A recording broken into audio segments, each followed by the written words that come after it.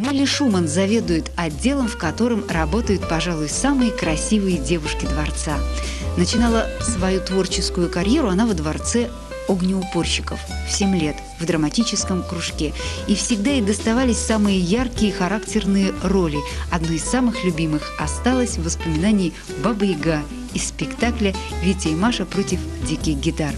Несколько лет Нелли работала с детьми, проводила праздники и беседы. Сейчас она заведующая отделом культурно-досуговой деятельности одаренность, огромное желание работать, создавать, чувство ответственности, обязательность – эти качества помогают ей в работе.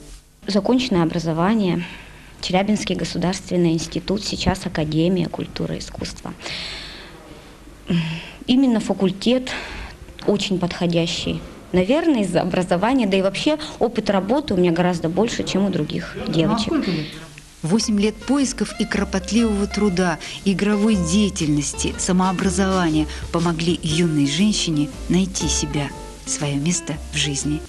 Снегурочки и бабки-ешки – это, конечно же, наша дополнительная разрядка, так скажем. Это то, что у нас осталось с детства. Это наше любимое занятие. А вообще, конечно же, работа наша не в этом совершенно заключается, а действительно в мощной организации досуговых мероприятий, в написании сценариев, в подборе материала. Это трудно построить систему, потому как я еще совсем недавно заведующая отделом. Но ну, все зависит от опыта. Я здесь, раз я здесь живу с детства, я уже знаю всю, всю атмосферу культуры, из-за этого как бы, ну, получается все. Сама считает, что без творческого роста в культуре работать невозможно. Каждое новое мероприятие ей хочется сделать более удачным, чем предыдущее. Открытие творческого сезона 2001-2002 – это ее программа. Самая лучшая, по мнению автора. Оно собрало в себе все коллективы Центра культуры, самые лучшие номера. Э, дети приходили с родителями очень восхищенные. Это было действительно праздник э, большой.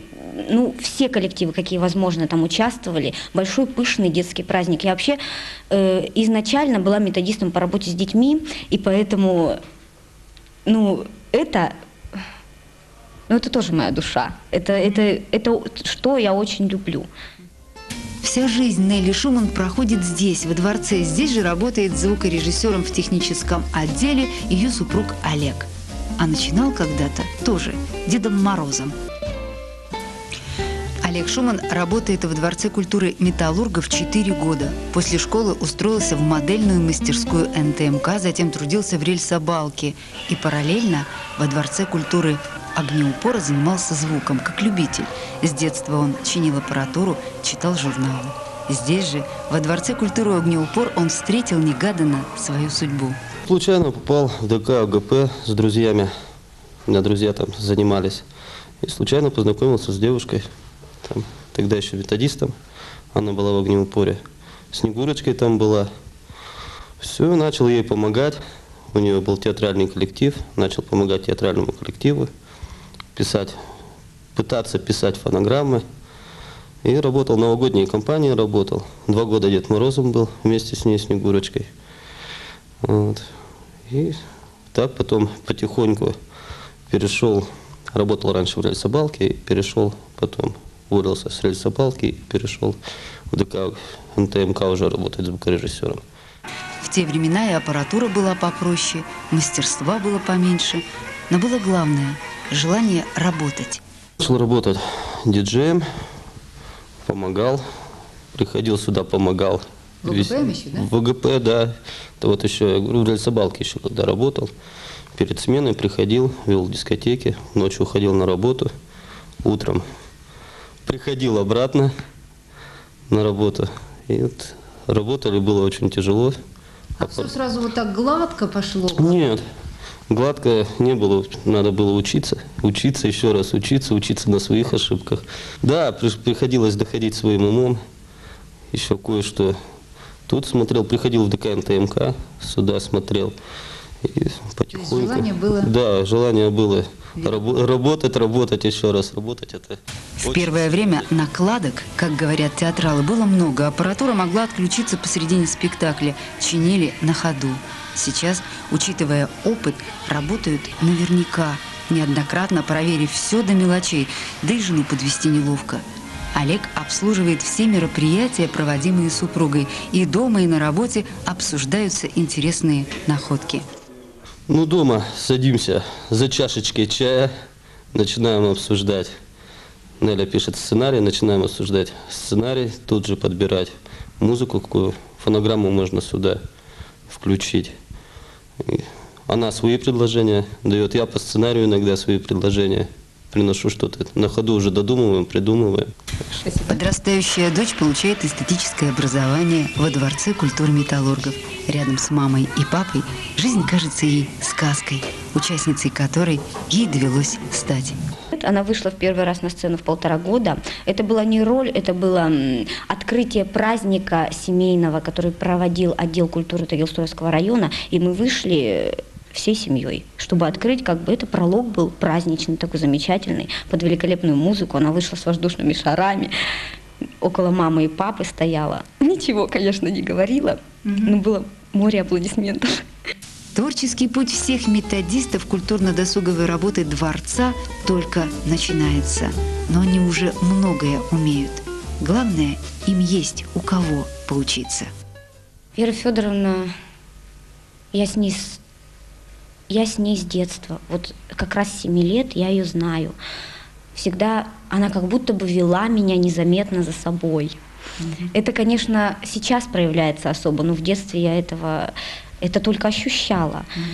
Очень приветливая, замечательная женщина, это идеал просто мой, просто женский идеал. И как вот говорят, идеалов нет, и с годами, сколько бы я ее не знала, все равно что-то раскрывается, что-то, ну нет идеальных людей тем более. А она для меня остается идеалом. Вот это загадка. Она для меня загадка, конечно. Как руководитель, действительно масштабный, мощный, деловой и всегда актуальный. Всегда, несмотря ни на что. Методисты – это важное и сильное звено Дворца культуры металлургов. Этим отделом много лет руководила Наталья Перезолова, нынешний заместитель директора Центра культуры и искусств открытого акционерного общества НТМК. Наталья Павловна главный мой учитель во всем. Конечно, в творчестве прежде всего. Она со мной работала, когда я поступила только в Институт культуры, занималась у нее в театральном коллективе, работая здесь параллельно. Всегда, всегда мы все делаем вместе.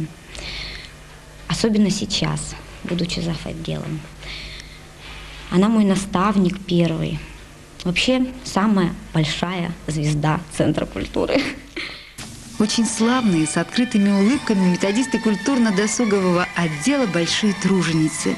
Только за последний предюбилейный год ими было проведено около трех тысяч мероприятий. Глядя на них, невольно вспоминаешь крылатые комсомолки, спортсменки, красавицы. Ну, конечно, внешность – это важно в нашей работе, непременно, несомненно, но, но это не основное далеко.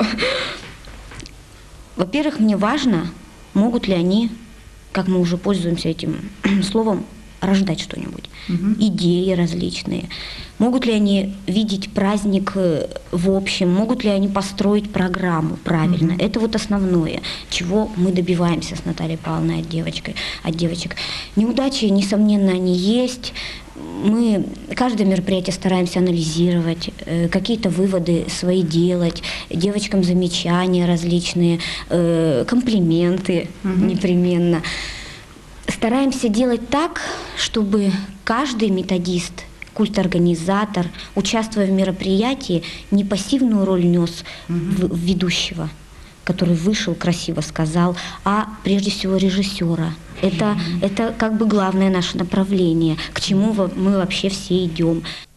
Праздники, беседы, концерты, конкурсы, фестивали, шоу-программы, гостиные. Сколько простора для творческого роста, для расцвета таланта. После каждой программы виден результат труда. Счастливые и веселые лица зрителей. И есть уверенность. Они непременно придут в дворец металлургов еще и еще раз. Знаете, мы работаем в прекрасном дворце. Нас окружает замечательный коллектив. Мы приходим сюда как домой. Это наш второй, а подчас и первый дом. Здесь растут наши дети. Здесь мы женимся, здесь мы влюбляемся.